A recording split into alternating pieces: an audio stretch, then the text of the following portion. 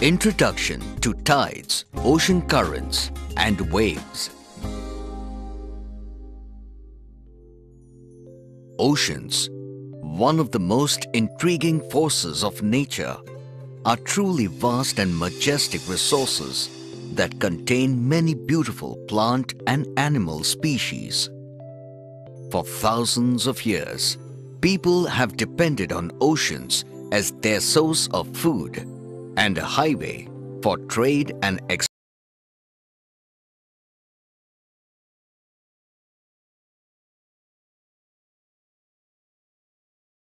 completely still. People at one time believed that the ocean floor was smooth and flat.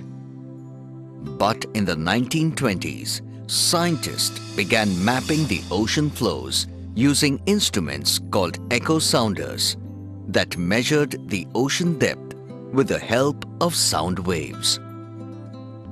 The instruments used proved that the ocean floor had dramatic physical features such as huge mountains, deep canyons, steep cliffs and wide plains.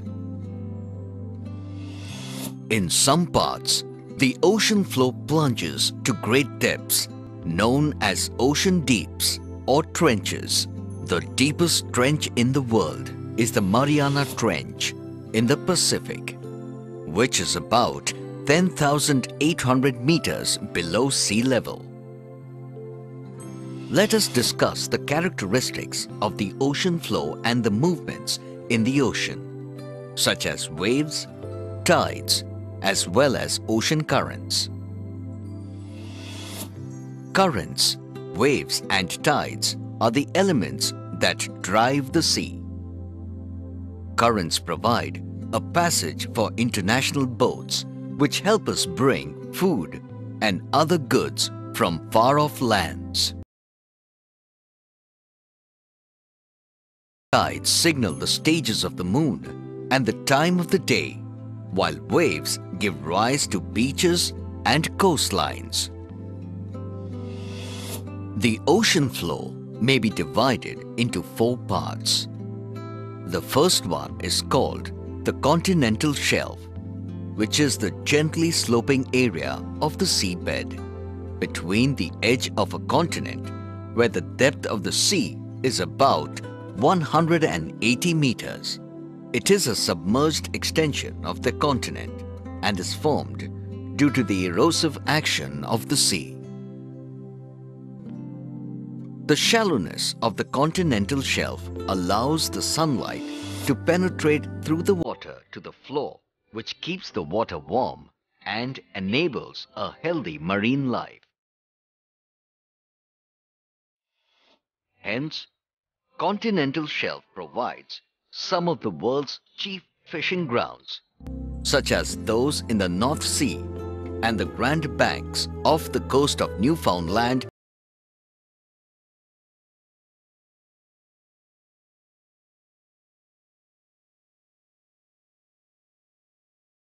is also found below the continental shelf in some parts, such as those of the North Sea and off the coast of Mumbai, that is, Bombay High.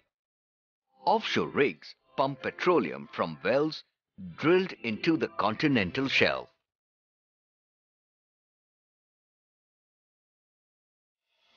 The second part of the ocean floor is called the continental slope. It is the steep slope that links the continental shelf to the ocean floor.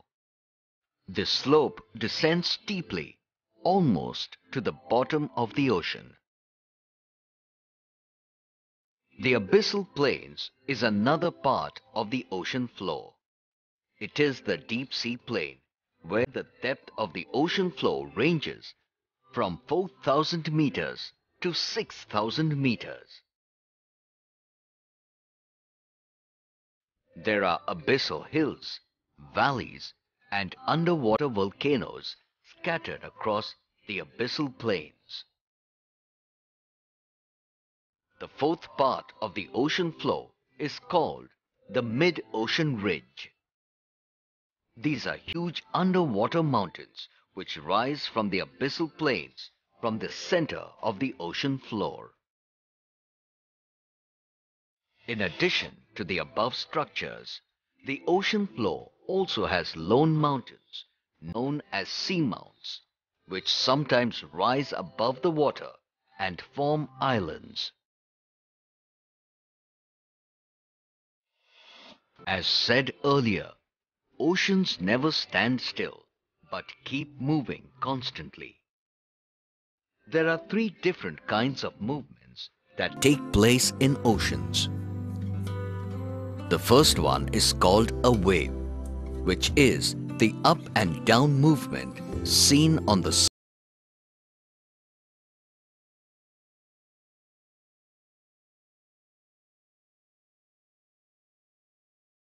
are caused by the force of wind. When wind brushes the surface of the sea, a wave is formed. Average ocean waves are about 1.5 to 3 meters high and they break near the shore. The highest point of the wave is called the crest and the lowest is called the trough. Average ocean waves move through water at about 30 to 85 kilometers per hour. Waves are powerful agents of erosion which shape coastlines. Beaches are formed by the deposition of material by the waves along the shore.